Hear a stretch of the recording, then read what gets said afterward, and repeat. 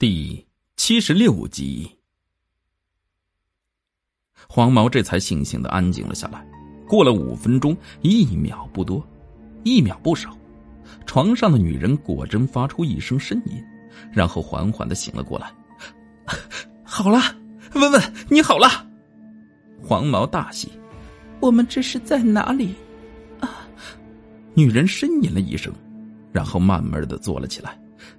这是在医院，刚才那个时候你突然晕倒了，快吓死我了。现在感觉怎么样？黄毛关切的问。没什么感觉，只是感觉有点头晕。怎么回事？我女朋友说她还头晕。你怎么当医生的？是不是黑诊所？我要告你非法行医！黄毛大怒道。叶浩轩按捺心头。将这黄毛扫地出门的冲动，然后耐心的解释道：“他现在刚休克过，有头晕是很正常的。如果你不放心，可以去大医院检查检查。”一听到要去大医院，黄毛登时不敢吱声了。大医院现在的情况就是这样，哼，一进一出没个万八千的，就别说你去过医院。医生，我没事了吧？女孩向叶浩询问。没什么大问题，但以后营养要跟上，不然的话会对胎儿不好。叶浩轩说完，又补充了一句：“你怀孕了。”啊！黄毛与那女孩愣住了。前面三个月和后面三个月不要房事了，不然的话会对胎儿不好，严重的话可能导致流产。不，不能要这个孩子，打掉，打掉！黄毛喃喃的说道：“打掉。”女孩神色一滞，她缓缓的说道：“你不是说过会喜欢我的吗？我不顾家里反对跟你在一起，现在我怀上了你孩子，你又让我打掉，我怀的是你的骨肉啊！不，我不想要孩子，要孩子以后就没自由了。文文，先把孩子打掉，我没钱，你先找你朋友借点钱。”然后我再想办法，不能要这个孩子，坚决不能要。黄毛紧张的说道。叶浩轩无语的看着黄毛，喝道：“如果你不能为这个女孩负责，那你就管住你自己。”我管不住。我实话说吧，我就是看中了你漂亮，我不喜欢你，你太文静了，我喜欢狂野类型的。这是自愿的，我是不会对这孩子负责的。黄毛摇手道。女孩的面色如死灰一般的看着这黄毛，然后无力的抑制道：“滚吧，以后我跟你再也没有关系。”黄毛如蒙大赦，一溜烟似的跑了，生恐女孩改变主意。看着黄毛头也不回的跑了。女孩心如死灰，对他彻底的失望了。别难过了，这种男人是不能托付终身的。现在看清楚他的面目，反而会更好。女孩点点头，然后哭道：“可我已经回不了头了，我因为他跟家里闹翻了，现在又怀孕了，我没脸见家里人。不管发生什么，你都是他们的女儿，他们的亲人。”只要你能醒悟，他们会原谅你的。况且，你的也不是怀孕。什么？我没有怀孕。女孩猛地抬起头看向叶浩轩。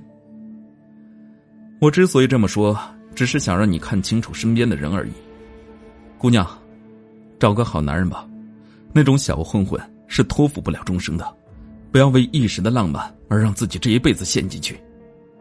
唉，叶浩轩叹道。谢谢，谢谢医生。女孩放声大哭。女孩走后，叶浩轩微微的叹了一口气。虽然常言道宁拆十座庙，不毁一桩婚，但那黄毛实在是太恶劣了。而观其面相，面有牢狱之灾，过不了多久会吃官司的。这女孩跟着他，只会毁了一辈子的。所以叶浩轩假说女孩怀孕，把黄毛吓走，然后女孩悔悟，以后痛改前非。叶浩轩自我感觉挽回了一个失足少女。几天没有去学校了，叶浩轩感觉自己要去学校报道一下，顺便请个假，否则的话，他们辅导员就要抓狂了。刚刚走到教室坐下，同桌伸过那一张遮住了大半边脸的眼睛，猥琐的凑了过来：“嘿嘿，怎么几天没来啊？新来的美女老师点名了，你小子死定了。”叶浩轩无所谓的耸耸肩。随便他吧，反正我是不会来上中医基础这门课的。开玩笑，哥的医术已经很好了，好不好？还用得着学习中医基础？随着上课铃声的响起，一位身材高挑、身着短裙的美女走进教室，却正是教他们中医基础的美女老师郑双双。叶浩轩看见了郑双双，不由得吃了一惊。没想到前几天在学校里邂逅的美女，竟然是他的老师。想想当天在他光滑的腰部乱摸的情形，叶浩轩只感觉到心头一阵火热，他连忙下意识的低下头。叶浩轩来了没？郑双双一上课便直接点了叶浩轩的名字，在他的课上还没有人敢来旷课，叶浩轩可算是第一个。呃。老师，我来了。叶浩轩硬着头皮站了起来。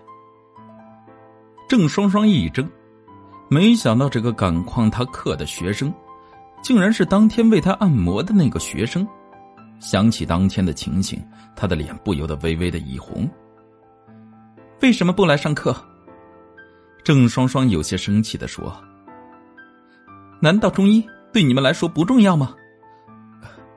对不起，老师，我不该旷课，我以后不会了。叶浩轩陪着笑脸说：“他可不敢得罪这位美女老师，不然的话，考试时给他的中医不及格，那可就丢人丢大了。”下课后去我办公室来一趟。郑双双板着脸，看到叶浩轩小心翼翼的样子，心中却是乐开了花。小子，嘿，艳福不浅呐。可以跟着国色天香的美女单独相处，机会多多。同桌猥琐的说。叶浩轩无语的摇摇头。一节课就这样过去了。其实叶浩轩根本没有听进去郑双双在讲些什么。换句话说，他讲的东西，叶浩轩比他还要清楚。不知不觉，下课的铃声响了。郑双双宣布下了课，然后向叶浩轩勾勾手。示意自己跟他来一下。叶浩轩苦笑，有些忐忑的跟着郑双双走进办公室中。郑双双的办公室是一间单独的办公室。教中医基础的老师本来就不多，现在又是刚下课，所以办公室里面没有一个人。坐吧。郑双双随手一指，然后一撩裙子，优雅的坐下。那洁白修长的双腿交叉的叠在前面，那份从容，叶浩轩一时间看得愣住了。叔叔为什么不来上课？你是不是不想学中医？不是，相反，我很喜欢中医。那为什么旷我的课？你不知道，我这个人不喜欢别人在我的课上旷课。如果你不说出来个理由，考试的时候你可要小心了。郑双双威胁道。我，我感觉中医基础学不到什么东西。郑双双柳眉一挑，他作为一个中医爱好者，叶浩轩的话无疑已经触怒了他心中的逆鳞。正在发作时，叶浩轩连忙又说：“老师，你的腰怎么样了？要不我帮你按一下？”你，郑双双神色一滞。那天叶浩轩为他按摩时。那奇异的感觉又出现在眼前，他一时间觉得双眼发烫，他没好气的说：“不碍事了。”老师以后要多多注意，不要穿高跟鞋，当心腰被扭伤。身材这么好，如果扭伤了多可惜。叶浩轩不怀好意的笑道：“够了，今天来是说你的问题的。”又提起自己的身材。郑双双有些愠怒。我说的是真的。叶浩轩一本正经的说道：“你现在还年轻，这个隐疾还不能表现出来。到年纪大的时候，症状会慢慢的出来的，你会变成一个驼背的老太婆的。你，谁要变成老太婆了？”郑双双大怒：“呃，老师当然不会变成老太婆，老师一直都会这么美。”叶浩轩连忙改口：“其实郑双双大不了他几岁。”不知不觉之下，他便有些口无遮拦了。那天你说你有办法去根，是有办法。叶浩轩点点头。那好，改天你去我家，没问题。双双，这是谁呀？门口一个声音传来，两人回头一看，只见一个神色不大友好的男人走了过来。他进门时刚好听到郑双双要叶浩轩去他家的话。我一个学生，你怎么来了？今天不忙了吗？郑双双站起来向叶浩轩介绍道：“我男朋友李俊。”叶浩轩向李俊点点头，看他有些阴沉的神色，显然是刚才误会这一对师生有什么瞒着他了。刚好没事有课没？如果没有课的话，一起吃饭。好吧，你等我一会儿。郑老师，如果没事的话，我先走了。好，没事了，你去忙吧。叶浩轩点点头，转身走出办公室，而李俊的神色渐渐的阴沉了下来。你干什么？这只是我一个学生。看李俊的神色，郑双双情知他醋坛子的毛病又犯了，不由得皱眉说：“学生。”哼一个老师不上课，跟学生在办公室里干什么？李俊质问道：“你这个人怎么这样？你不要见我跟别的人在一起就吃醋好不好？”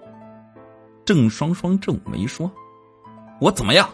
我告诉你，我们婚约是具有法律效益的，你不要想着背叛我，不然的话，我们法庭上见。”李俊喝道：“我知道我们的婚约有法律约束，除了这个。”你还有别的地方能吸引我不离开你吗？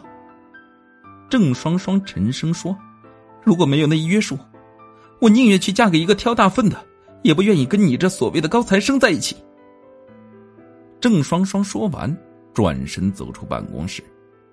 李俊的神色越来越阴沉，他面目狰狞，恶狠狠的喝道：“贱人！等结过婚，老子玩够了，把你卖去坐台，让你嚣张！”左右无事，叶浩轩直接驱车来到中医院。只是今天唐兵并没有坐诊，叶浩轩拨通了他的电话。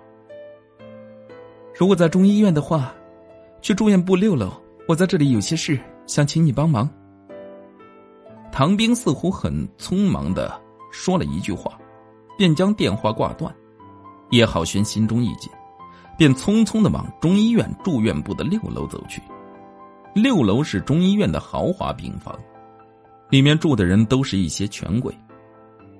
换句话言之，就算你有钱，也不一定能住得进去。而在一间特大好的病房中，满满的站着中医院的医生，包括医院的院长以及科室主任等一众人，都挤在病房中。如此一来，这间原本宽阔的病房显得有些拥挤了。病床上躺着一名外国人，他的下肢在外面裸露着，只是他的双腿与上半身极为不协调。他上半身生得壮实无比，浑身生满肌肉，只是一双腿又干又瘦，几乎是跟木柴棍差不了多少。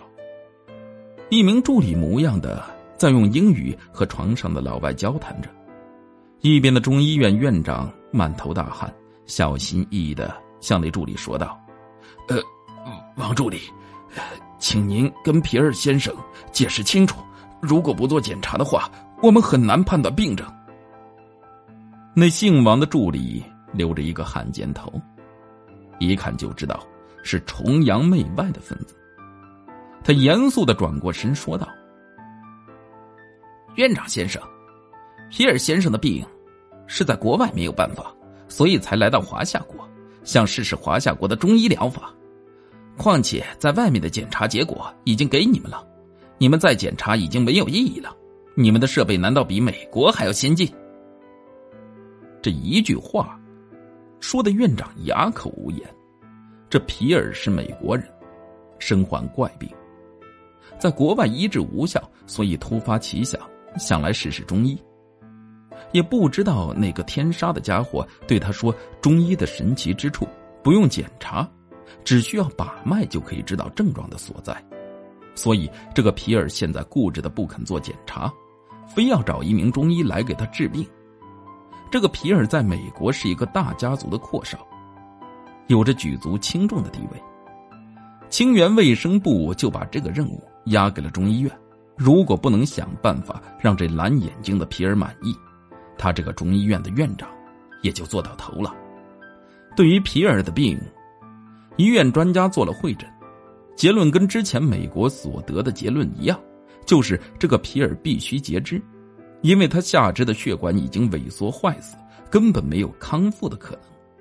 而皮尔也不知道从哪本网络小说上看到中医的神奇之处，所以非要嚷嚷着找一名真正的中医为他治疗，那种不把脉就可以看出他的病症，不用截肢，只用扎几针就可以把他的病治好的中医。他妈的，要是中医真有这样的医术，早他妈的没有你们西医什么事呢？只是无论他怎么解释，这位皮尔就是不相信，固执的认为一定有这样的中医存在。只不过那些中医是隐士高人，非要强迫着别人来给他找来一位不可。这让中医院的院长急得像是热锅上的蚂蚁。他上哪里去给他找一位隐士高人中医啊？医院的几位老中医也都被请过来了，只是这些老中医把过脉。看过皮尔的情况后，均表示中医没有好的办法，最好的办法还是跟之前的一样，截肢。而皮尔则是认为中医院在藏私，甚至威胁中医院的人，如果不帮他找来一个中医，他就把这件事情升级为外交，让中医院院长吃不完兜着走。中医院院长无奈。只得向上级求助，而上级则是层层批报，最终确认将京城专家调过来几个为皮尔看病。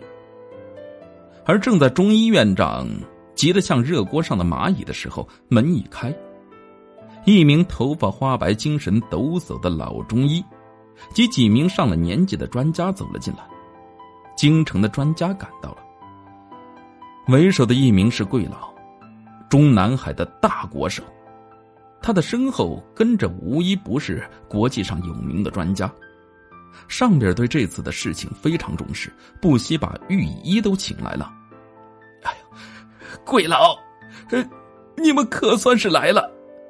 如果再不来，中医院的院长估计都要哭了。院长连忙凑近皮尔说：“皮尔先生，这就是我们中国最好的中医，是专门为国家领导看病的御医。”让他们帮你看看吧。皮尔的眼前一亮，这才来了精神，然后坐直，伸出一只手，让贵老帮他把脉。贵老点点头，然后伸手搭在了他的脉搏上。过了一会儿后，然后换了一只手，搭完脉之后，深思了片刻，然后让另外几名专家看。几名专家依次序而来，给皮尔把了脉。然后不顾皮尔期待的目光，走到一边去讨论病情去了。大家都说说自己的看法吧。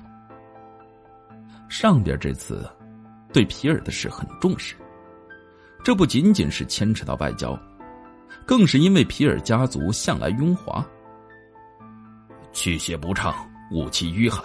如果来得早的话，尚能用药石保守治疗。现在。一名专家边说边摇头道：“截肢吧。”余下的专家点点头，然后依次说出了自己的办法，但最终的结论只有一个，那便是截肢。除此之外，他们实在是想不出来有什么别的好办法。我倒有些不同的看法。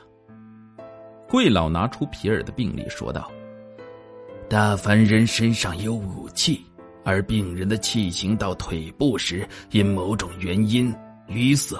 虽然腿部经络坏死，但如果用针灸辅以药时，唤醒他腿部的经络，也不是不可能。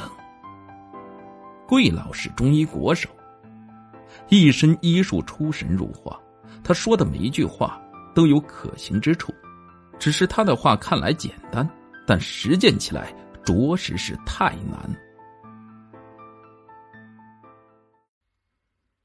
第七十七集。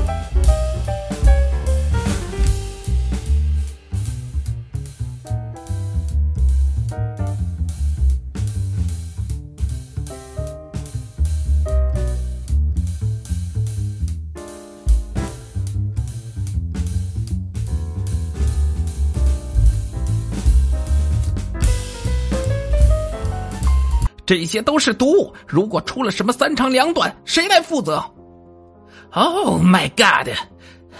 太可怕了，你们太可怕了！我不同意用这个治疗方案。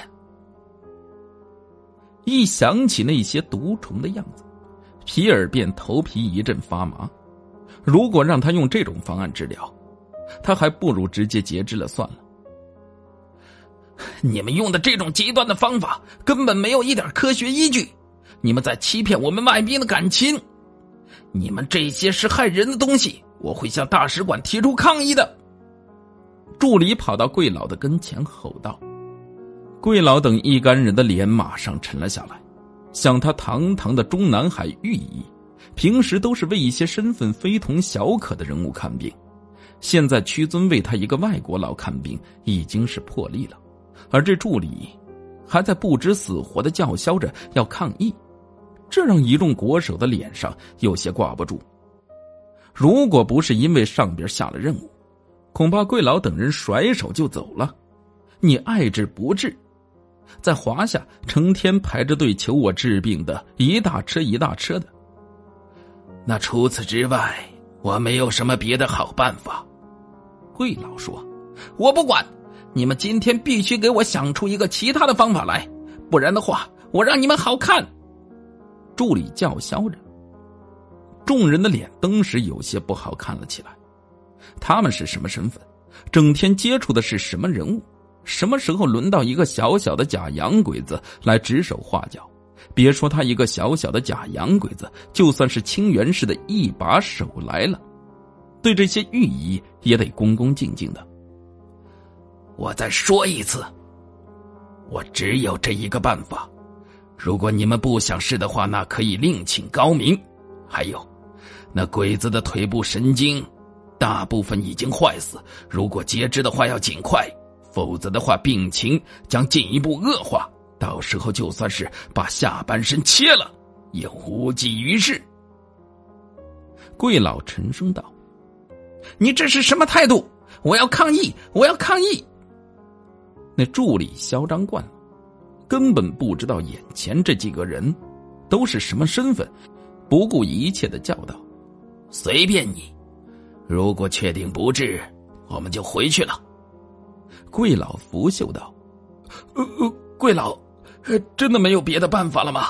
要不再想想其他的办法？中医院院长哭丧着脸说：“哼，即使是这洋鬼子死到这里，跟桂老他们都没有半毛钱的关系，但他不一样，可以说他的人生都压在这老外的身上。治得好老外，他平步青云；治不好，他扒了这身院长的皮。所以说，这个中医院院长现在比皮儿还要着急。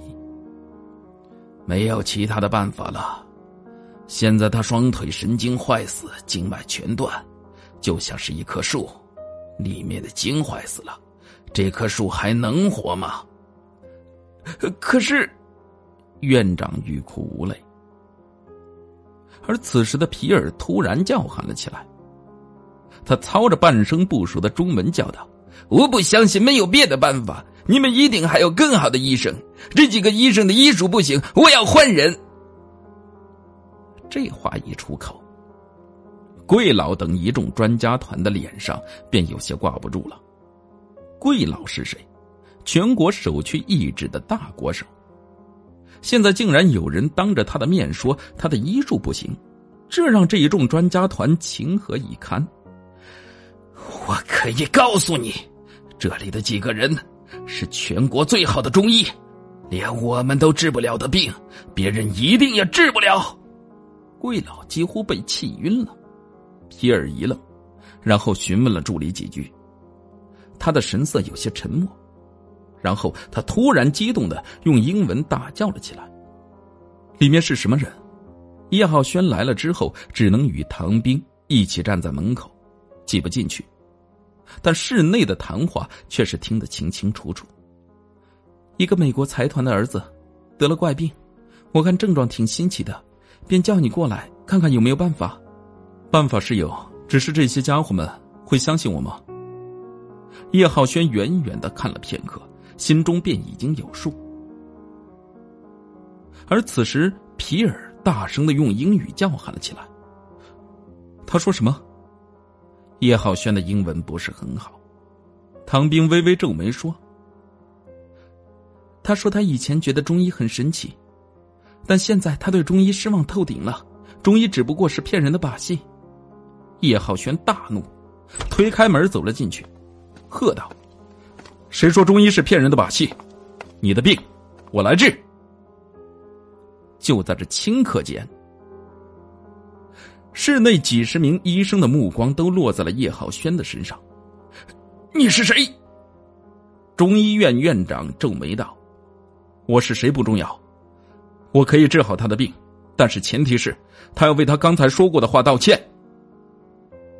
皮尔看了看叶浩轩，然后操着生硬的普通话说道：“如果你能治好，我可以先道歉，但前提是不能用一些极端的方法，否则我拒绝治疗。”你最理想的治疗方法是什么？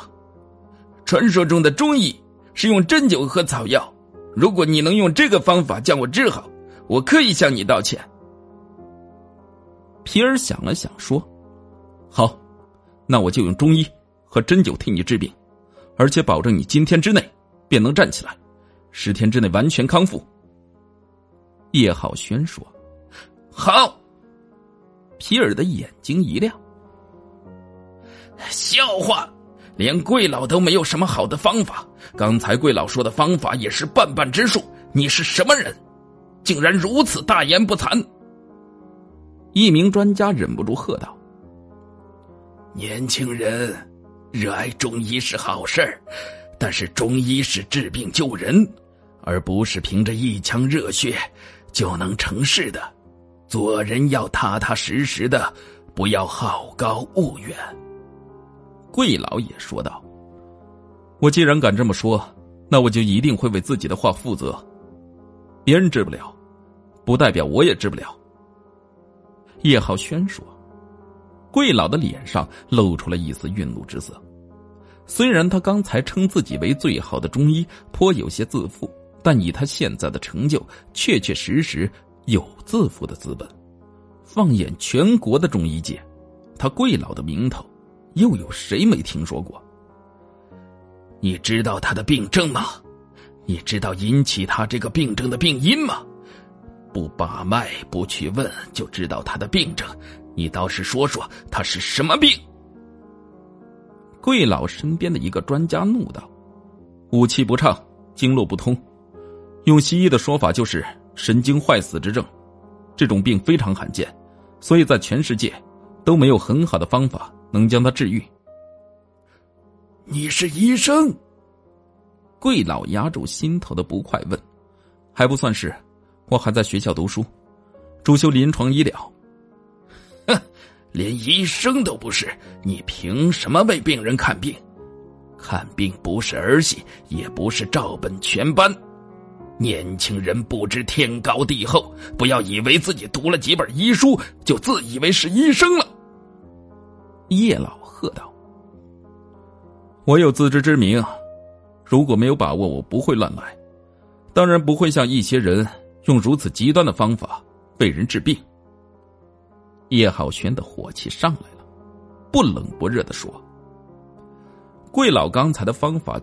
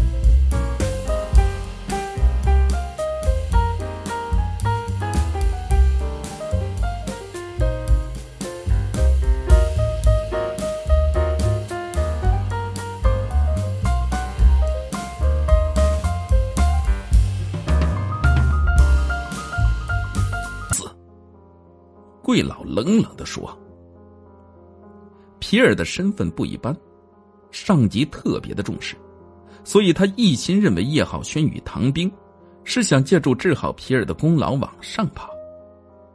我的男人不是那种爱慕虚荣的人，以他现在的成就，完全可以凌驾在你之上。”唐兵定定的说道。叶浩轩微微一笑，唐兵竟然承认自己是他的男人了。这可是天大的喜事他寻思着什么时候把这关系给落实了。胡说八道！哪里来的黄毛丫头，竟然敢这样对贵老说话？区区一个二十多岁的年轻人，我甚至不相信他懂中医，竟然敢这么大言不惭！来人，把他们轰出去！一时间，病房里像是炸开了锅，就连中医院长也喝道：“小唐。”马上带着你的男朋友出去，这里是贵宾病房，不要在这里胡闹，不然我报警了。这里不是你们能掺和的地方。你让他试试，就让他试试，治不好，让他去坐牢。贵老已经气得面无人色了，多少年了，还没人敢当着他的面这样说他。你们中医。不是只有白胡子老头才是吗？皮尔迷惑的看着叶浩轩，在他的意识里，中医只有年纪大的老人才会，年轻人根本不会，就算会，也不会很精通。其实这也就是大多数国人的看法，事实上也就是这样。中医有些东西不能言传，只能靠着大量的经验和积累，等到成名的时候，也就胡子头发都白了。凡事无绝对，你这个病应该有一年多了吧？是不是因为去了极冷的地方玩，然后出现意外被困在了那里，才会导致这种情况？是的，刚好一年。那天我去滑雪，不慎跌入山涧，昏迷了过去，也没有人知道。等我醒来的时候，双腿都在雪地里埋着，之后变成这样了。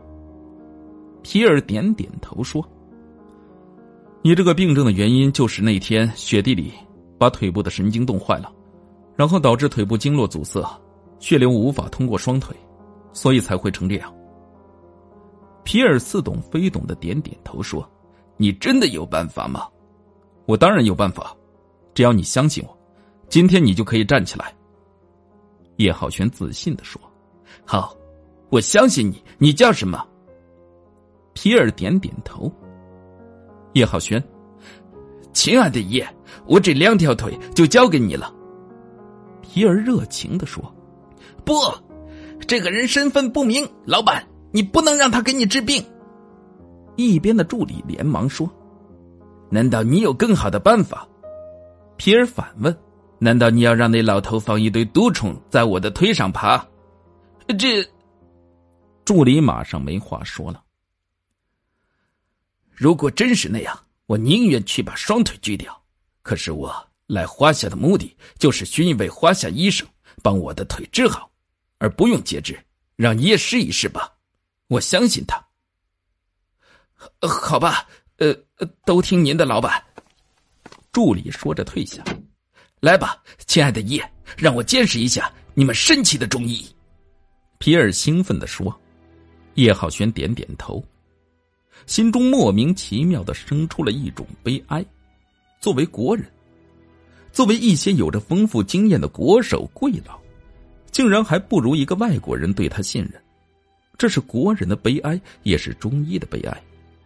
呃，皮尔先生，呃，这不合乎规定。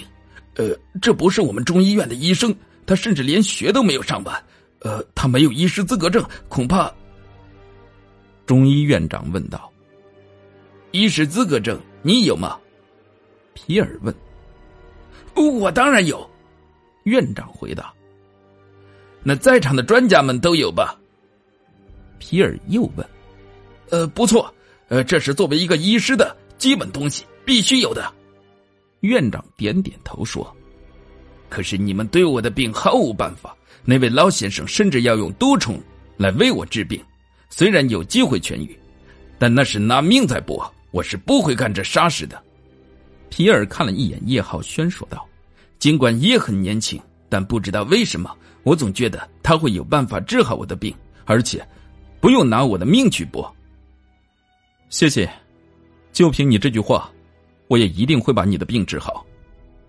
叶浩轩微微一笑，然后拿出针带来。“哦，亲爱的叶，你要开始了吗？”这就是中国的针灸，我在美国见识过。可是我相信你的水平一定是最高的。皮尔兴奋的说。叶浩轩笑道：“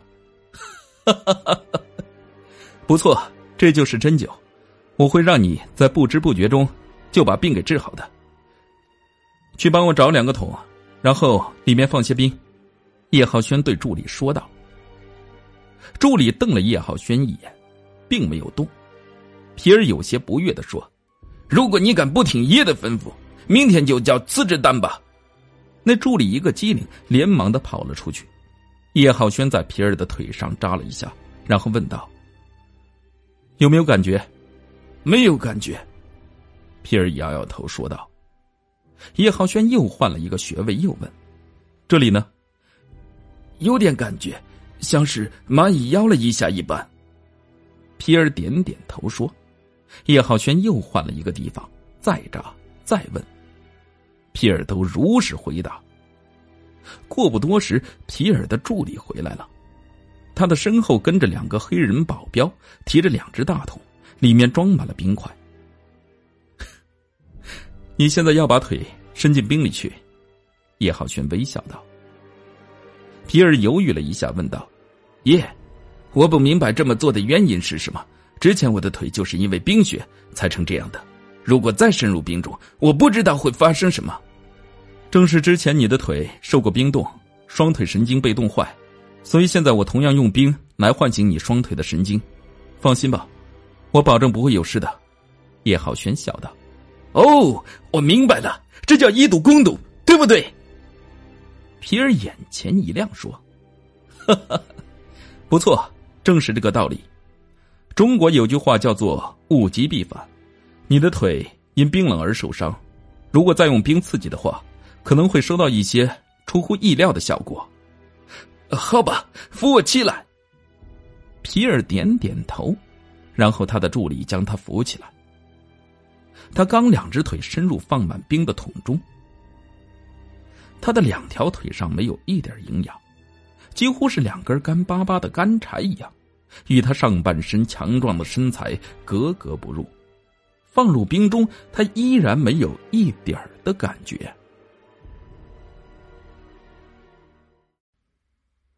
第七十八集，胡闹！哼！桂老冷哼一声。虽然不认为眼前的叶浩轩真的能够将皮尔的病治好，但他还是要看下去。他要看这个年轻人该如何收场。需要我帮忙吗？唐冰站在叶浩轩的一边，默默的注视着他，就像守在丈夫身边的小媳妇一样。不用，你在这里看着就好。叶浩轩笑着说。半个小时过去了。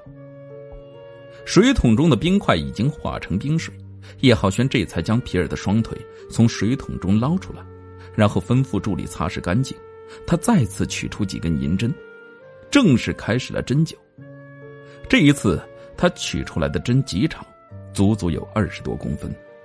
这针刺入皮尔的双腿里，几乎将他的小腿贯穿。一边的助理看得心惊胆战，有些头皮发麻。有什么感觉？凉凉的，不，又有些热，这是正常现象。如果你有感觉，说明你的经络还未完全阻死，希望又大了几分。过了片刻，叶浩轩在皮尔双腿上的针身上轻轻的一弹，只见那根银针的针尾接连不断的晃了起来。也不知道叶浩轩这一弹用了多大的力，针尾足足晃了五分钟，还在晃。呃，我感觉到针上有热流，就好像是发电一样，太神奇了！皮尔惊喜的喊道。那银针在皮尔的腿上足足晃了十分钟，叶浩轩这才将针拔了下来，然后对助理说：“我需要一些中药。”说着，便取过纸，写下了满满一页纸的中药。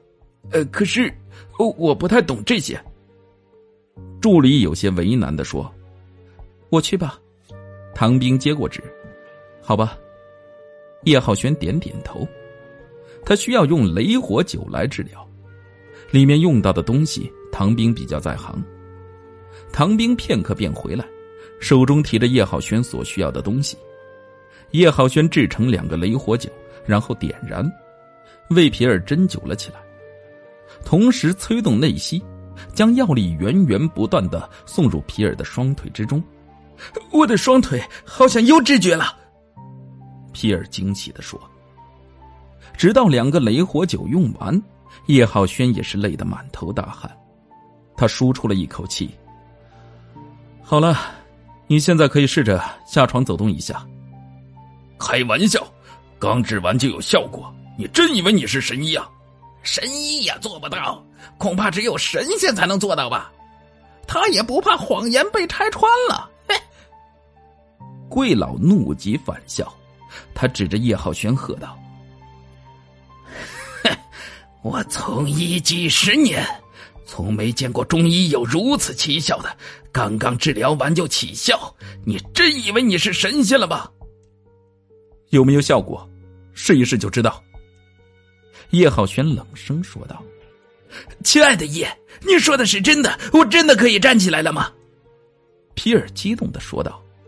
哈哈哈，完全可以。”叶浩轩微笑着说道。“好，我试试。”皮尔压抑着心头的喜悦，然后在助理的搀扶下缓缓的站了起来。在众人目瞪口呆的表情中，他慢慢的迈出了第一步。真的站起来了，真的站起来，太不可思议了，神了，竟然还能走！这种情况都可以截肢了，他竟然还能走动，这不可能！贵老以及那一群专家目瞪口呆，不可思议的看着皮尔。虽然现在皮尔大部分的重量都压在助理的身上，但之前他的双腿神经损坏，根本不可能动一下。尽管还需要助理去扶，但这个效果已经让人很惊悚了。然而，叶浩轩接下来的话令他们更是惊悚。放开他，让他自己走几步试试。叶浩轩淡淡的说：“你疯了！”有人忍不住叫道。现在皮尔的大腿只有碗口粗，大多数肌肉萎缩，而他的上身生得高大结实，足足有两百斤，很难让人想象，如果这两百斤的重量压到这一双跟干柴一般的腿上，会有什么后果。犹豫了一下，皮尔点点头，然后尝试着缓缓的松开了助理。他战战兢兢，如履薄冰般的独自站在那里。众人的心在这一瞬间提到了嗓子眼儿，深恐皮尔那如干柴一般的双腿承受不了他那上半身的重量。皮尔缓缓的松开一边的床沿，颤抖着双腿向前缓缓的移动出一步。我可以走了，我可以走了，我可以走了。皮尔欣喜若狂，迈出了第一步。第二步、第三步便显得轻松的多了。虽然皮儿的脚比较蹒跚，但毕竟他可以依靠自己，不用扶任何东西，就可以走路。而这一切只是叶浩轩在短短的不到一个小时的治疗。好了，回床上休息吧。叶浩轩满意的点点头。亲爱的爷，谢谢你，你让我重新站了起来，真的很感谢你。我我为之前诋毁中医的事情要为你道歉。皮尔几乎是在嚎叫了。持续半个月治疗，你就可以跟正常人一样了。只是，你双腿受损太严重，以后要多补才能补得回来。半年之内，最好不要做太过剧烈的运动。过了半年，保养好了之后，你就可以去踢足球了。叶浩轩笑道：“我知道了，亲爱的爷，非常感谢你。请问你明天还会来吗？”皮尔问。明天你去找我吧，这里是医院，医院有医院的规定。我如果在这里治疗，恐怕有人以为我在抢他的生意。叶浩轩笑着，然后写下了一个地址给皮尔。一瞬间，在场所有的医生，包括贵老在内，都觉得脸上火辣辣的，像是被人抽了一个耳光一样难受。呃呃，皮尔先生，呃，我们之后会给你做一个全面的检查，以确保你的腿没有任何的问题。院长连忙上前，现在大局已定，他还不来抢功劳？不用了，我马上出院。我感觉我在医院待着没有任何意义。皮尔摇头说：“呃，皮尔先生，我们医院的条件是这里最好的，您的病情刚刚稳定。”还是在医院检查比较好。我们这里的医生也是最好的，可以。你的医生是最好的，吉尔诧异的说道。他们只会让我截肢，我差点失去双腿。那些人都让我截肢，腿不是你们的，你们可以随便指出一个治疗方案，但患者要付出失去双腿的代价。你们不配被称作医生。皮尔越说越激动。回想起近一年来求医的经历，他感觉像是在做噩梦一样。话一出口，桂老等人更是感觉无地自容。其实桂老的方法也是奇形险招，生还的几率还是半半之数。正如皮尔说的，他们医生随便指出一个方案，患者都要承受无尽的风险。院长有些尴尬的看向唐兵。想让唐兵帮忙说几句话，哼！岂料唐兵把头别向一边，不再理会院长，马上为我办理出院。皮尔向助理说：“呃，好。”助理连忙答应，然后匆匆的走了出去，一边走一边联系酒店。那好，亲爱的爷，我们明天再见。”皮尔说道。“随时恭候你的大驾。”叶浩轩笑道。“唉，老了，老了，不如你们年轻人了。”桂老边说边摇头，然后向着叶浩轩深深的作了个揖。小友的医术，在下是生平仅见。如果不是京城有事，我一定会与小友请教一下医术上的问题。贵老客气了，其实贵老的大德才是我所佩服的。贵老摇摇头，我这些年来久居中南海。受诸人敬仰，渐渐的有些忘本了，自以为天下医术第一。小友今天真是当头棒喝，如果有时间，请小友到京城一叙。桂老说着，送出一张名片。叶浩轩收起名片说：“如果我去京城，一定去叨扰桂老。”这些专家拒绝了中医院长的邀请。只想要快点回到京城。这次清源之行，他们算是丢人丢到姥姥家了。他们都是中南海的御医，平时都是高高在上的，医术自然不用说。而没想到，在清源这种卧虎藏龙的地方，竟然一个年轻人的医术都可以秒杀得了他们。呃，呃，叶医生留步。叶医生，呃，是这样的，呃，我们中医院。求贤若渴呀，呃，以你的医术，前程不可估量。呃，不知道你有没有想过来我们医院工作？院长拦住了叶浩轩，陪笑道：“虽然皮尔不在他的医院治疗了，他的功劳等于就没了，但毕竟叶浩轩也替他解决了这个大麻烦。于是，院长便起了招揽的意思。院长，你说笑了。”我只不过是一个学生，中医院的门槛太高，我怕爬不过来。叶浩轩冷笑一声，断然回绝：“哎，不管怎么说，今天的事情我还是多谢你了，否则的话，我这个院长的位子也怕保不住了。”身为体制的人，院长也有颇多的无奈。虽然平时看起来风光，但真正上面有事压下来的时候。他们怕是马上会被压得粉身碎骨。如果没事，告辞了。叶浩轩说着，便与唐兵一起离开。真的不考虑一下来中医院工作？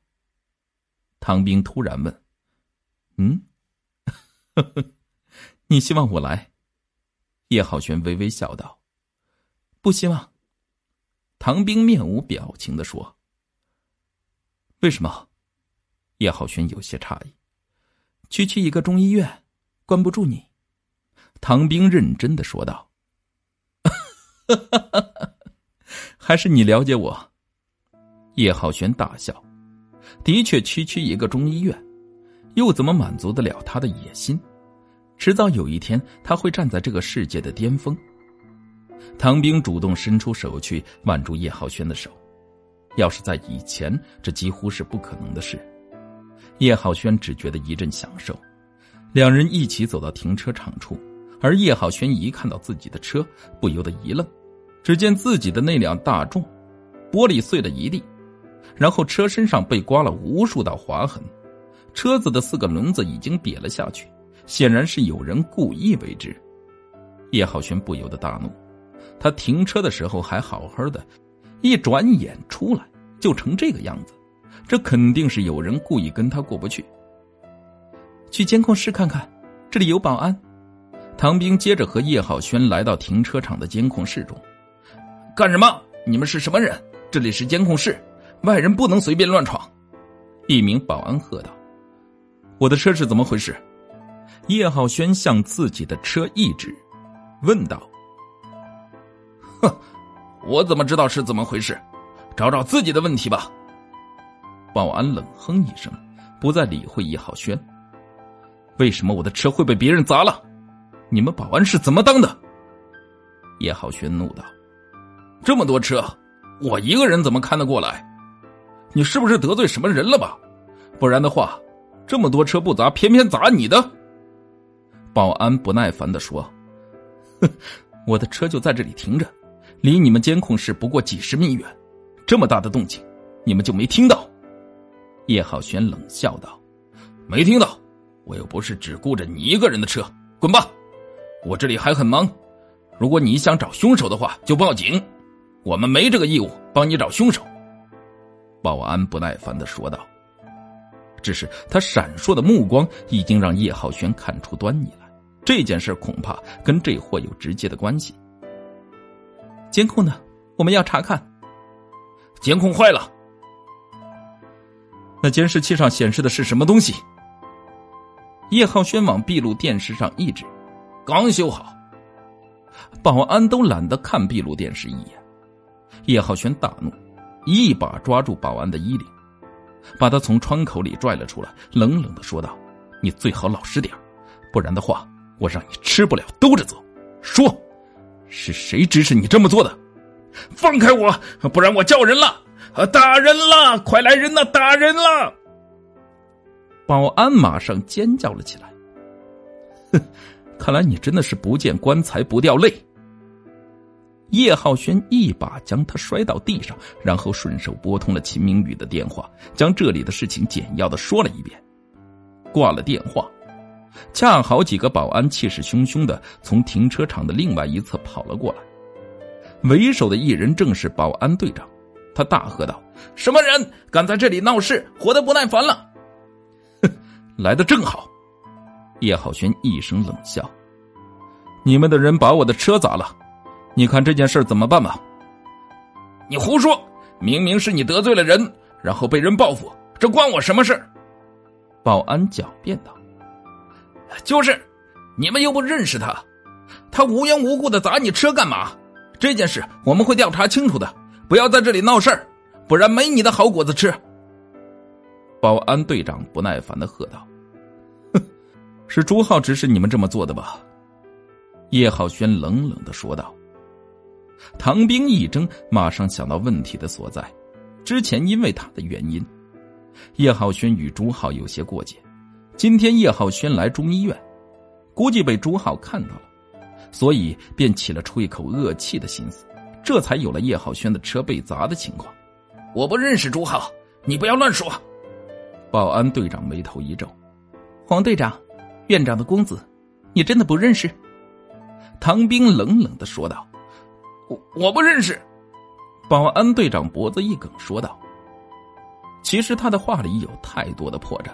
身为保安队长，他竟然敢说不认识院长的公子，这是有点太说不过去了。”好，我已经报警了，等会儿警察来了就交给他们处理吧。”叶浩轩淡淡的说。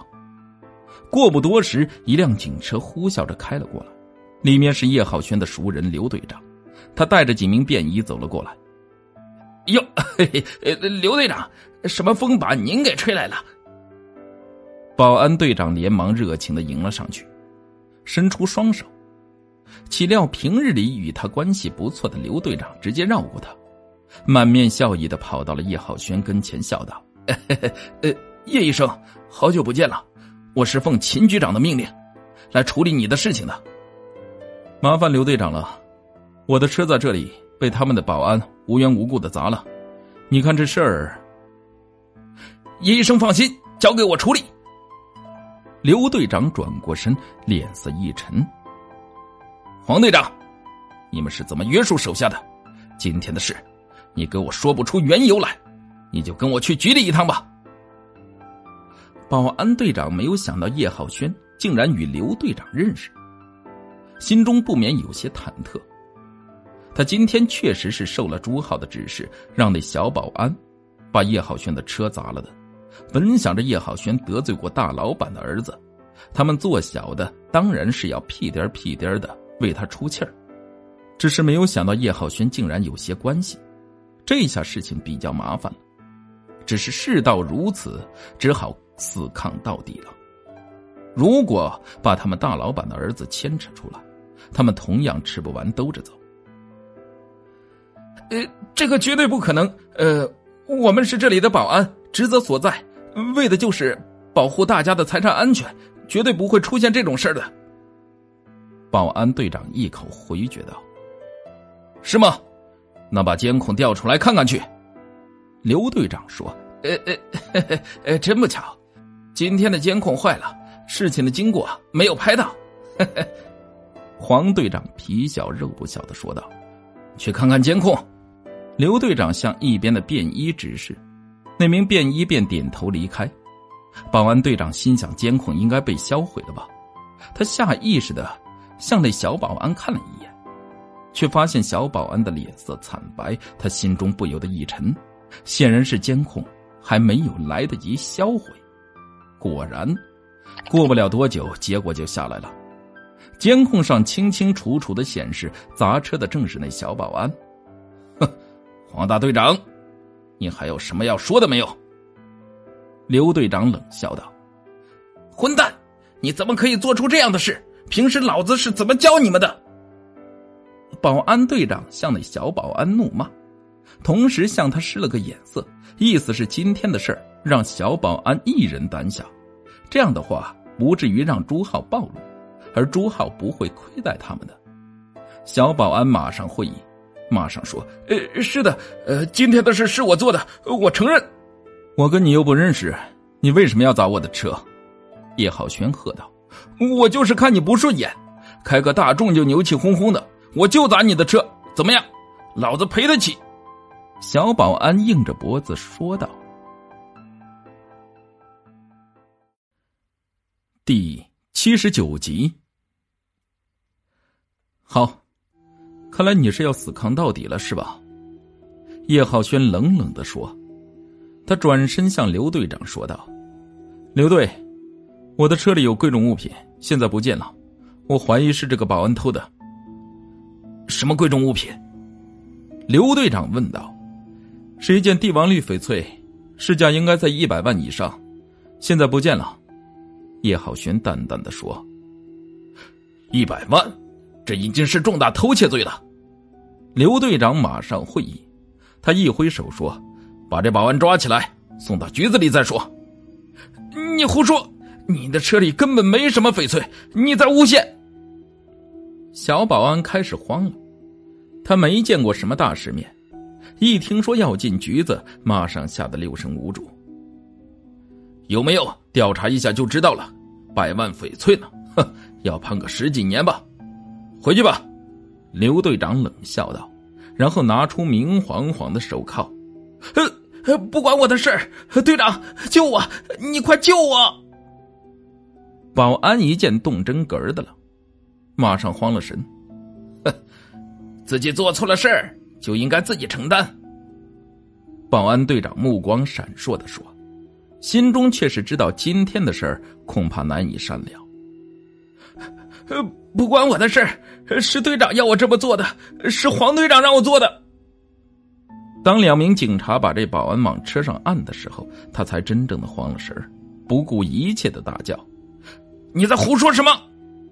保安队长大怒：“黄队长给我一千块钱让我砸车，说是车主得罪了我们院长的公子，真的不关我的事儿，我没偷东西，我只是砸车了。”小保安几乎快吓哭了。你还有什么说的？刘队长喝道：“哼，这是我让人砸的，跟我们院长公子没有关系。要抓就抓我吧！”保安队长一咬牙喝道：“老黄，我跟你也相识一场了，着了吧？这事跟你没多大关系，不是什么人都是你能得罪得起的。”刘队长好意的劝道。是我做的，黄队长一咬牙，打算死抗到底了。他在这里做保安队长，每天清闲，工资还不错，而且时不时的还有些灰色收入，所以他不愿意得罪朱浩。那好吧，既然你想把牢底坐穿，我也没办法。你这个罪名要坐十几年牢，不要以为你们院长公子多了不起，在大人物的眼里，屁都不是。刘队长说着，有意无意的看了叶浩轩一眼。黄队长心里不由得一突，他与刘队长平时关系不错，他满以为刘队长会帮衬着他点儿，但今天看来，刘队长的话恐怕不是吓他的。难道眼前的这个年轻人真的身份不一般？看他有些松动，刘队长凑近他低声说道：“知道之前的郑局长父子吧？”“知道。”保安队长点点头。“难道是？不错，就是这个年轻人弄进去的。那天的情况你是没在场，直升机都出动了，郑家父子到现在生死不知，连我都不知道弄哪里去了。”刘队长说。保安队长心里马上打了个突，脑门上的汗立时淌了下来。照刘队长这么说，眼前的这个年轻人岂不是能力通天了？连军方的直升机都能出动，说明他身后有着通天的背景。就算是朱大公子在医院这一亩三分地儿上有些势力，但跟军队比起来，屁都不是。自己没必要为了这个饭碗。把自己搭进去，叶医生，对不起，是我的错，我不该贪图那点小钱砸你的车。保安队长惶恐的说：“谁指使你的？”呃，朱浩，是我们院长的公子，我们这些做小的，有时候其实也挺为难的。保安队长片刻便将朱大公子出卖了，做个笔录，让他签字朱浩是吧？他现在在哪里？刘队长问道：“去院长那里了，现在估计还没走。你们去，一准能抓到他。”保安队长连忙说：“去，把他给我拧过来。”刘队长一挥手，院长的办公室中，院长最新招来的秘书是一个天生的尤物，而在办公室中，此时正上演着一幅爱情动作片。只见朱浩浮在一具光溜溜的身体上，正努力的运动着。而下面那人赫然是他老爸的秘书。啊，朱少，你好厉害！我要死了！嘿嘿，你这个小妖精，老子要……正在朱浩兴致正高时，突然门猛地一开，几名身穿便衣的警察冲了进来，然后拿着相机顺手拍了几张照。然后，一名警察大手一挥道：“带走！”马上有两名如狼似虎的警察冲了上来，在院长秘书的尖叫声中，把周大公子拧了起来，铐上手铐。而他老爸那尤武秘书连忙穿上衣服，吓得躲到一边去。干什么？干什么？你们是谁？你们知道这是什么地方吗？放开我！朱浩吃了一惊。吓得小弟马上围了。眼见两名警察拖死狗一样的把他向外拖，他只吓得魂儿都飞了。现在正是大白天，医院里人来人往的，如果他光着身子就被拖出去，丢面子是小，恐怕他老爹都会被他坑死的。呃，等等，几位大哥，有话好好说，有话好好说。呃，你们要钱是吧？我有的是钱。你们开个价，要多少有多少。见几人似乎是玩真的，朱浩连忙服软。哟，这不是朱大公子吗？我们接到举报，说这里有人嫖娼，没想到坏了朱大公子的好事真对不住啊！一名警察戏谑的说道。朱浩心里咯噔一下，这人竟然认识他，这隐约让他感觉到了不妙起来。他与他老爸的秘书那些奸情，做的非常隐秘，绝对不可能会有人知道的。而眼下这些警察显然就是冲着他来的。他意识到得罪人了。这件事严格来说算不上什么大事，他与秘书都是成人了，大家你情我愿的，没什么大不了。怕就怕在这些警察硬说他们是嫖娼，事情闹大的话，坑的不是他，而是他老爸。他老爸是中医院的院长，能走到这一步可谓是如履薄冰，而且有人对秘书与院长之间颇有微词，就是说院长跟他的秘书原本就有一腿，而现在秘书又跟院长的儿子搞在一起，这算什么事儿？他妈的，父子共用一女，他们父子想不出名都难。更何况他老爸的位子也不知道有多少人暗中盯着。这件事可以让他老爸的竞争对手无限的扩大，最终，他老子还是得滚蛋走人。而他今天的风光，都是他老爸给的。他老爸完了，他也跟着完蛋了。呃呃，哥儿几个，能能让我先穿上衣服吗？朱浩哭丧着脸说道：“哟，你还知道穿衣服呢？不用了，天气这么热，裸着凉快。”一名便衣笑道：“几位，就算我求你们了，让我穿件衣服吧。”朱浩几乎快哭了。一名警察扯过他的内裤丢了过来，虽然只是一条内裤，但总比没有的好。朱浩连大气儿都不敢出，把内裤穿上，他缩在一旁，就好像真的被扫黄的警察抓了那种情况一般。知道你犯了什么事不？一名警察问。呃呃，几位兄弟，我真的不知道我得罪什么人了，几位请行行好，示意一下吧。朱浩小心翼翼的说：“哼，装傻是吧？要不到局子里说说。”一名警察晃了晃手中的相机，然后笑道：“有些人应该对这照片感兴趣的。”呃，别，大哥，我真的不知道做错了什么，几位给点提示吧，算我求你们了。朱浩几乎快哭了，想不起来是吧？那好，把你最近几个月做过的坏事全部写下来，敢写漏一个，我让你好看。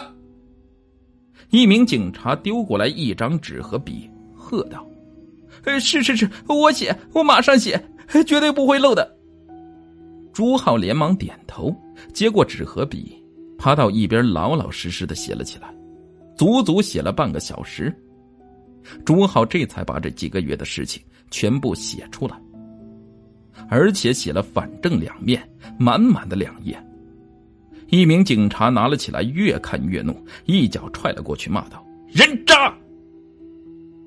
这位朱大少真是无恶不作，有潜规则小护士的，收红包给病人安排手术的，也有私吞一些药品的回扣的，总之劣迹斑斑。这张纸上的证据，足够他小子喝一壶的。朱浩理亏自然不敢躲，硬生生的受了几脚。今天的事没写吧？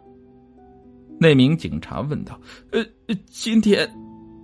朱浩愣了一下，看了一眼瑟瑟发抖的秘书，他疑惑的说：“呃，今天的事情你们都知道了吧？”妈的，我不是说这个。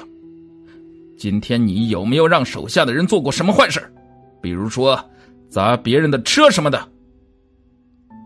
砸车！朱浩瞬间恍然大悟，显然今天这些警察是因为这事儿来的。原来他得罪的人是叶浩轩，有有过，我与那车主有仇。今天在医院刚好看到他，心里气不过，所以就让手下的人给了他一点教训。我不敢了，我赔车，我赔，我真的不敢了。朱浩真恨不得抽自己几个耳光。没事，他好好的招惹叶浩轩干什么？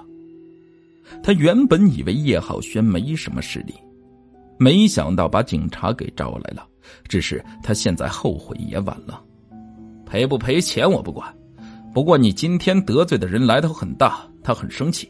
这是他的地址，你明天看着办吧。警察给了他一个地址，然后强迫他按下手印，带着相机和写满朱大少的纸离开了。朱少，怎么办？我们该怎么办？警察一走，秘书这才敢站起来，一时间六神无主。我他妈的怎么知道怎么办？朱浩大怒，反手抽了秘书一个耳光。搞定了。刘队长将相机的内存和满满的两页纸交给了叶浩轩。呵呵，刘队，多谢你了。叶浩轩笑道。别客气，自己人。刘队说着，手一招道：“收队。”车被砸了，叶浩轩也懒得理他。如果不出错的话，明天就会有人送新车来。他搭上了唐兵的车，两人一起离开了中医院。诊所生意怎么样？唐兵突然问。还好，整天忙，我感觉自己都快忙不过来了。呵呵，叶浩轩苦笑道：“要不没事的话，以后我去帮忙。”好啊，我妈成天嚷着要见儿媳妇呢，正好带你去见见她。叶浩轩笑道：“谁是你媳妇了？讨厌！”唐兵脸色微微的一红：“当然是你了。呵呵呵，刚才是谁口口声声的说？”我的男人怎么怎么的？难道是我自作多情？你的男人不是我？叶浩轩笑道：“不理你了。”唐兵脸色绯红。走吧，去我那里看看。叶浩轩打着方向盘，转身向诊所所在的地方走去。中午，诊所的人并不算很多。叶浩轩走了进去，笑道：“ 妈。”我把儿媳妇给你领回来了，啊，真的！本来在发呆的刘云一惊，连忙的站起来迎了上去。伯母好！见到刘云，唐兵脸微微的一红。妈，这是唐兵，这是我妈。叶浩轩互相做了介绍。冰冰啊，哎呦，长得真漂亮！快，快进来吧。刘云看到唐兵那出尘冷艳的气质，高兴的不得了，连忙拉住唐兵的手走进诊所。冰冰啊，坐吧，喝水。刘云没有准备一下，儿媳妇儿就这样上门了，一时间忙得不可开交。伯母，不用这么客气了，都是自己人。唐兵连忙拉着忙里忙外的刘云，两人一起坐下。刘云看着唐兵，真是越看越喜欢。暗夸自己的儿子真有眼光。后来得知唐兵也是医生时，更是欢喜。这样一来，两人的共同语言就更多了。唐兵平时与别人接触少，换句话说，不擅长与人交流。但与刘云一起，似乎有着说不完的话。两人一谈起来，把什么都忘记了。叔叔，你回来了。随着一声声音，芳芳扑了上来。芳芳之前居无定所，连吃都吃不好，所以身子瘦弱。现在这些日子吃得好，睡得好，生得白白胖胖的，像一个小公主一般的可爱。接她放学的是白月，两人走在一起就像是母女一样。看来他与王铁柱的事八九不离十了。芳芳，今天学了什么？叶浩轩笑道。小花猫。芳芳边说边扭起了身体，唱起了儿歌，那一本正经的样子，惹得大家哈哈大笑。叶医生在吗？门口传来了一个声音，随即一个老头脑袋伸了进来。我在，有什么事吗？叶浩轩问道。老头一见叶浩轩。马上激动了起来，他跑到叶浩轩的跟前，紧紧的握着叶浩轩的手，说道：“叶医生啊，我是之前煤气中毒小孩的爷爷，我感谢你救了我孙子的命。”叶浩轩随即醒悟，他笑道：“ 不用谢，应该的。叶医生，我们没什么能表达的，只好送个锦旗来感谢你了。”老头说着，外面走进来孩子的父母，以及他们怀中活泼可爱的小孩。父亲的手中拿着一面锦旗，走到叶浩轩的跟前，感激的说道：“叶医生，谢谢你了。后来我们去医院给孩子检查了，医生都说这孩子能活过来是个奇迹呀。叶医生，你真是神医呀！”叶浩轩笑着接过孩子父亲手中的锦旗，笑道。神医不敢当，以后注意一下。孩子还小，不要把孩子一个人放到家里。会注意的，我们会注意的。叶医生，太感谢你了。孩子的母亲也感激的说：“当天他们的孩子煤气中毒，已经窒息。后来是叶浩轩用注油术，这才救了他们的孩子一命。”他们不知道是叶浩轩当初强行把孩子从鬼门关里抢出来的。后来，他们把孩子送到医院，做了一番检查。近些日子孩子没事了，他们这才想起啊，要感谢孩子的救命恩人。另外一侧的西医诊所，那名医生不屑的看着叶浩轩这边热闹的场景，喝道：“狗屁的生意，运气好罢了。你运气好，也碰一个给我看看呐。”一个病人走了过来，劈手把他手的药瓶摔到了这医生的身上。“哎，你这人怎么这样？你干什么？”医生连忙躲开。你他妈的还说才子干什么？老子一个感冒，在你这里吊了几天的水，花了几百块钱还没给老子治好，人家对面几针下来我的病就好了，你他妈的还说人家运气？那那是你的病在我这里已经治的差不多了，所以他们才会很快的把你治好的，这还是要归功于我。医生狡辩道：“放你娘的屁！”你当老子是三岁小孩那病人又是一通骂，直骂的那医生狗血淋头，才悻悻的离开。呸！妈的，老子出门不利，就当是被狗咬了。那医生吐了一口口水。吃了午饭，叶浩轩这才开车送唐兵回去。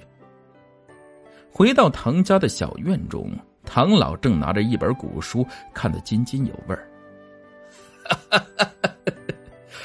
哎呦，我说你们两个小两口回来了。唐老看见两人亲密的挽着手，不由得高兴的说：“爷爷，谁小两口了？”唐兵羞涩的说道：“哈哈！你看都亲热成这样了，还说不是？”唐老笑道：“怎么，去见家长了吧？”哪有？不跟你说了。唐兵不好意思再待下去，跑着上楼去了。唐老，在看什么呢？叶浩轩笑道：“一本古医书啊，上面记载的东西大多数都失传了，可惜了。”唐老边说边把古书放到一边。第八十集。今天中医院的院长打电话向我问过你了，是不是在他们那里露了一手？唐老说道：“呃，算是吧，是个外宾，把贵老都从京城惊动过来了。结果他的方法有些极端，那老外不敢试，所以我就试试。不错，姓贵的那老家伙向来心高气傲，自负的紧呢。这一次受打击了吧？”唐老点点头，其实他的医术是相当不错的，不然的话也不能被称之为国手了。没有几分刷子，怎么可能在中南海混成御医呢？那货是有些门道的，只不过治病救人的方法比较极端，曾一度被人称之为毒医。毒医。叶浩轩想想贵老第一次想的方法，认同的点点头。他确实能当得起独医这个称号。早些年他的方子偏激，曾被一些正派的中医流派视为歪门邪道。只是他的医道天分着实不错，所以才凭着过硬的实力混到了今天这个地步。叶浩轩点点头说道：“中医示威。”我在中医院的时候说能治那老外的病，一屋子的人不相信，相反只有那老外相信了。这不知道是国人的悲哀，还是中医的悲哀。唉，如果多几个像你这样的年轻人的话，中医绝对不会是这个样子。小叶，我想让唐进跟你去学医。唐进，他会跟我学吗？呵呵。叶浩轩苦笑道：“他不去也得去。唉，他的天赋不错，只不过太过于年轻，难免有些心浮气躁。如果能加以磨练，他将来在中医方面必定会有一番成就的。”叶浩轩感叹道：“是啊，他现在缺少的只不过是一块好的磨刀石，而你，是上好的磨刀石。叶浩轩思索了一下，然后点点头说：“平心而论，我没什么好教他的。他的医术着实不错，只不过经验方面欠缺。这样吧，我诊所里恰好忙，明天就让他在诊所里坐诊。”好，不过这小子呀，心高气傲，你要先挫挫他的锐气再说。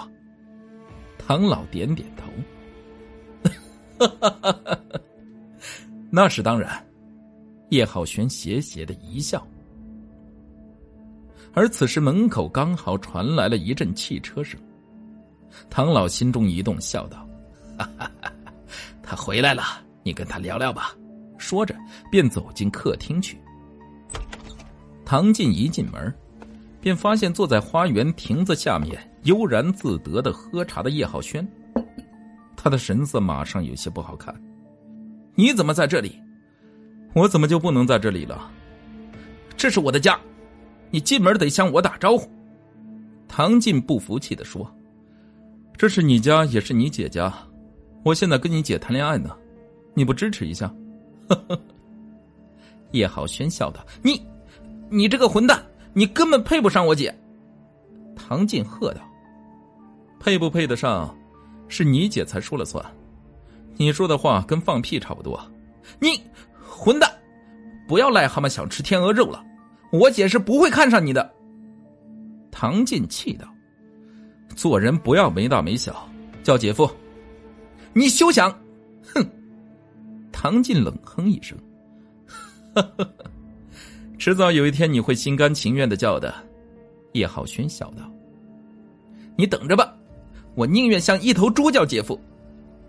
你希望你姐嫁给一头猪？”叶浩轩反问：“你，反正不会嫁给你的。”唐静根本斗不过叶浩轩，气冲冲的转身：“明天去我那里，干什么？我诊所忙，要招个伙计，你挺合适的。你要让我去给你当伙计？你等着吧！”唐静大怒：“你爷爷已经同意了，我不管，反正我是不会去的。”你不去的话，你的银行卡明天就会冻结。”叶浩轩威胁道。“你，混蛋！”唐进气冲冲的跑进客厅里，显然是找唐老理论去了。片刻之后，他垂头丧气的走了出来，恨恨的瞪着叶浩轩。明天八点，准时过去。叶浩轩微微一笑，转身离开。虽然对叶浩轩恨得牙根直痒，但唐进也是无可奈何。第二天早晨，天刚蒙蒙亮，朱浩便心急火燎的开着一辆崭新的大众途观，到了玄湖居处。只是为时太早，他也不敢上去叫门，只得在外面守着。一想到自己的把柄在叶浩轩的手里抓着，他就觉得心里像火烧般难受。这些东西虽然不至于要命，但事关他老子的前程与他的人生自由。他做的那些事儿，他心里清楚，够判他个十年八年的。这还是在一些严重的情节没有老实交代的情况下。六点钟，白月便开了店门。芳芳跟他住在一起，他要一早起来送芳芳去上学。呃，你好，请问叶医生在吗？一见到开门，朱浩连忙跑上前去，有些谄媚的笑道：“叶医生，他现在还没上班，你到八点以后再来吧。”白月丢下一句话，便带着芳芳离开。好不容易等到八点，但还是不见叶浩轩的踪影。朱浩开始急了，连忙跑到店中再问：“是这样的，叶医生交代过，要你在这里等，他今天有点事。”可能会晚点来。白月依然是不紧不慢的说：“ 好，那我等。”朱浩咬牙切齿的说：“在医院的一亩三分地上，他是太子，只有别人等他，他甩给别人脸子看。但人在屋檐下，不得不低头。叶浩轩的手里掌握着能要自己命的东西，让他不得不忍气吞声。”他说着便坐在一边的椅子上。岂料白月微笑道：“不好意思，这里是诊所，你在这里会影响我们的病人心情的。医生交代过，让你在门口等。”虽然气得咬牙切齿，但他还是不得不陪笑走到门口，老老实实的站着。虽然现在入秋，但秋老虎的天气还是让人受不了。火热不含一丝水分的太阳，热辣辣的照着，让朱浩这个大少头晕目眩。虽然如此，但他还是不得不老老实实的等着。谁让自己有把柄在别人的手中呢？好不容易叶浩轩来了，朱浩连忙迎上去，诚惶诚恐的说：“呃，叶少，你饶过我这一次吧，我以后再也不敢了。”叶浩轩像是根本没有看到他一样，径自走到诊所中。朱浩不死心的跟上来，不顾一边前来看病患者诧异的目光，扑通一声跪倒在地上：“叶少，只要您放过我这一次，以后我就是您身边的一条狗。”为了叶浩轩手中的把柄，朱浩算是豁出去了，也顾不上丢面子了。你的事一会儿再说。我现在正忙着呢，出去。”叶浩轩淡淡的说。朱浩咬咬牙，还是走了出去，然后像一尊门神一样站在门口，一动也不敢动。唐进受爷爷的指示，来到叶浩轩这里跟叶浩轩学医，他气冲冲的走了进来，重重的坐倒在叶浩轩的身边，没好气的说：“今天是让我坐诊，还是干别的什么？”叶浩轩刚好给一个病人看完病，随手写了个方子交给唐进道：“去帮白姐抓药。”你，唐进大怒，想他堂堂真王唐渊的孙子，什么时候沦落到给人当伙计抓药的份上？如果你不去，我现在就给你爷爷打电话。”叶浩轩半带着威胁的说：“好，我去。”唐进咬咬牙，想想自家老爷子对自己的胁迫，还是接过药方去了。抓完药后拿来给我看。叶浩轩淡淡的说。唐进走到药柜前，三下五除二的将药抓好，然后麻利的用纸包好打捆，送到叶浩轩的跟前。岂料叶浩轩看都没看一眼，只是淡淡的说道：“当归少了一钱。”黄连多了一钱，重新抓。你故意整我的是吧？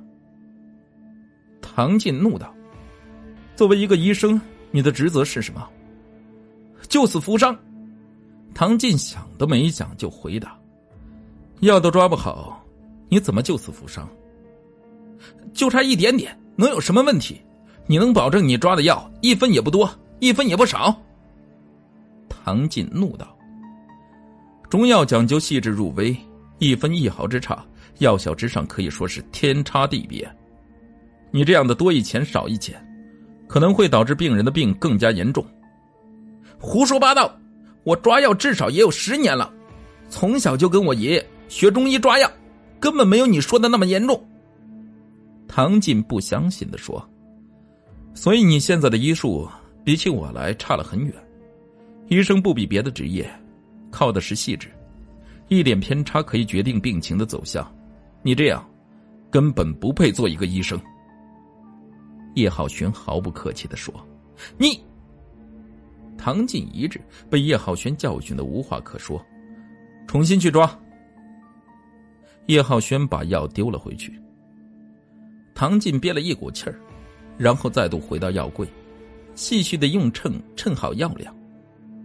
然后仔细的确认了一下，这才将药拿给叶浩轩看。菊花多了半钱。叶浩轩依然没有看一眼。胡说！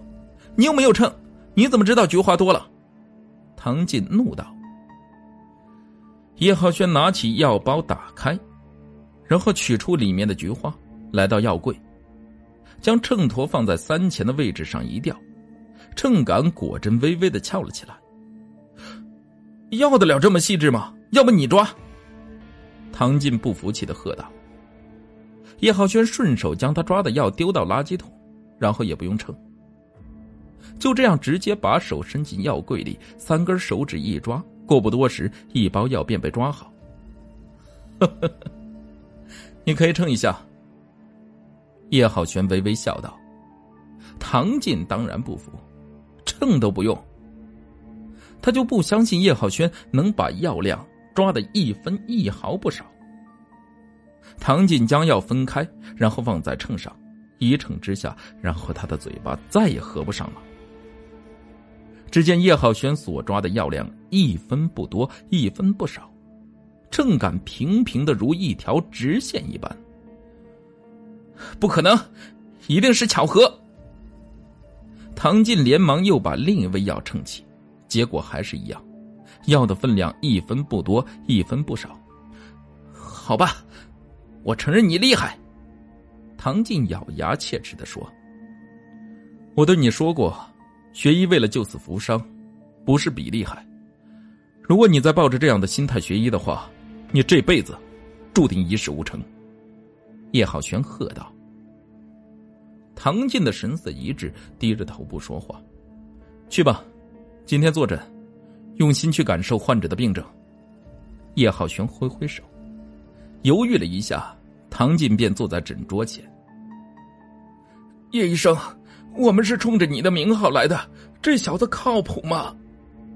患者的话几乎让唐进吐血。放心吧，这是唐渊唐老先生的孙子，医术不错。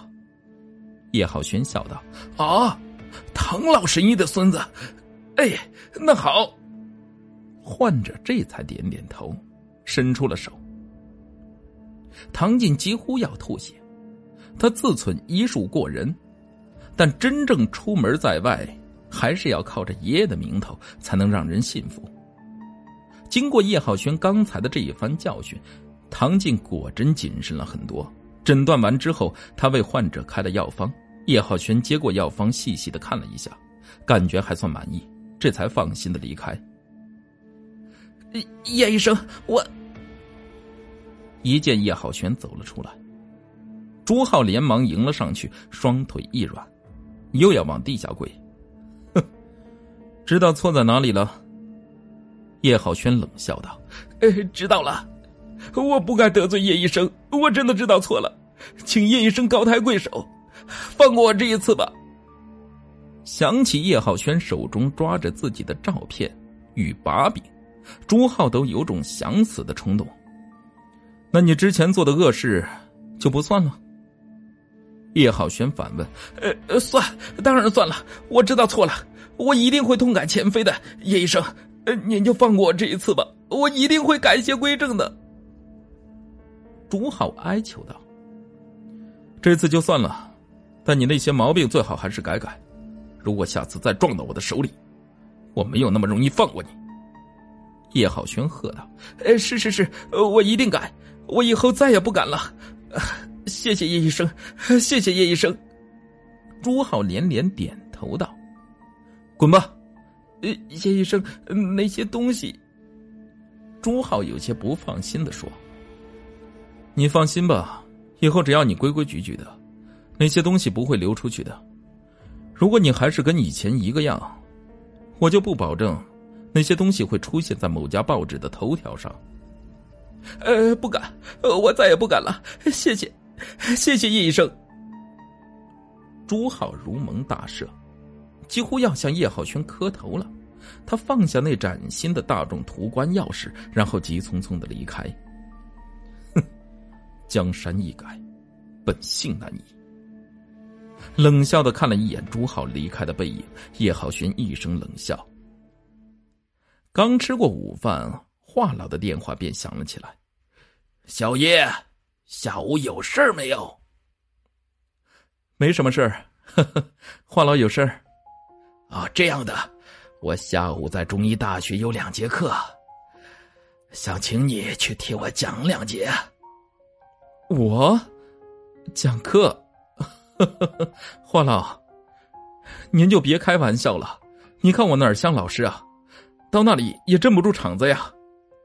叶浩轩苦笑道：“哈哈哈，没关系的，我感觉我的老一套学生们有些接受不了。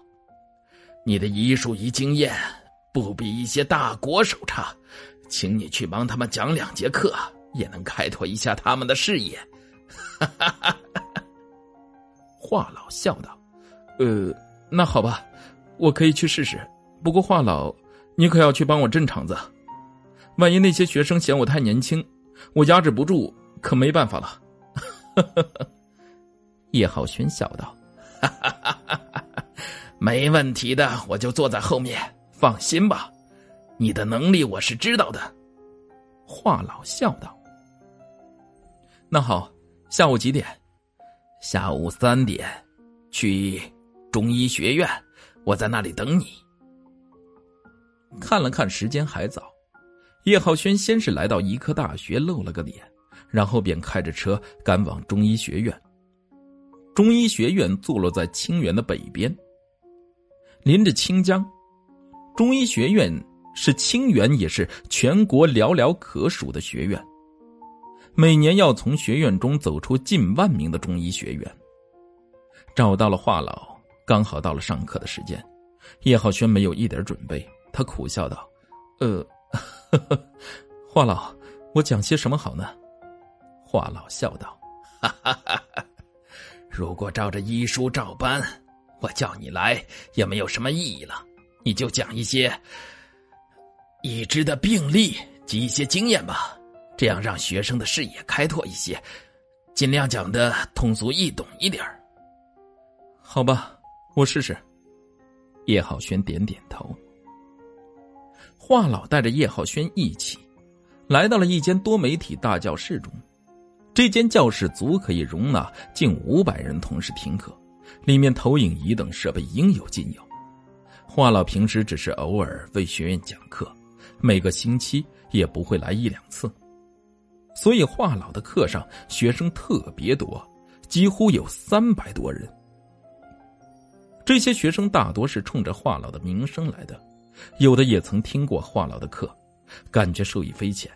所以，华老课上的学生比一般的中医老师上课时的学生要多出两倍不止。华老带着叶浩轩走到了讲台上，试了试喇叭的音响，然后说：“呃，诸位同学。”今天我为大家介绍一位年轻的老师，今天将由他代理这节课，大家欢迎。话老的声音落下，整间教室里只有稀稀落落的传来了几声掌声。看来这些学生们对叶浩轩并不感冒，因为叶浩轩的年龄实在是太年轻了，跟他们差不多。让这么一个学生模样的年轻人来讲课，这些学生们心中都有些诧异，甚至是不屑。大多数人不明白华老的葫芦里卖的什么药。大家好，果维新书《神龙兵王》已经在喜马拉雅上架。一代钢铁狂兵卷土重回都市，喝最烈的酒，踩最狂的反派，征服最美的女人。精彩爽文，欢迎大家收听评论。